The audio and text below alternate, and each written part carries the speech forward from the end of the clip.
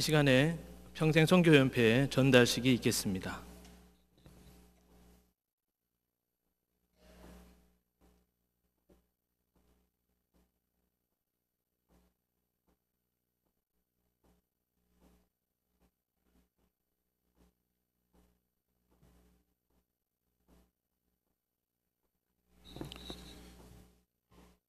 평생 회원 기념회 어, 성명 안평원 땅까지 이르러 내 증인이 되리라는 예수 그리스도의 말씀을 따라 경영성교 회원 되시는 성도의 복된 날을 기념하여 이 패를 드립니다. 중략 2010년 10월 9일, 16년 10월 9일 경영성교회 회장 석기호 목사 감사합니다.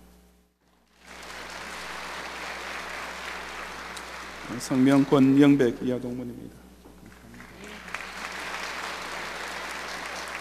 성명 임재송 이하동문입니다.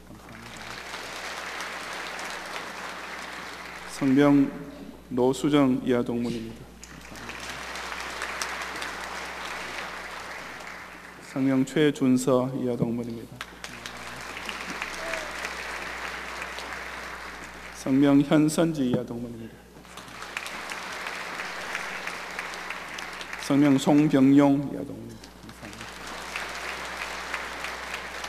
성명 최수경 이하동문입니다. 성명 김한국 이하동문입니다. 감사합니다. 성명 임인원 이하동문입니다. 감사합니다.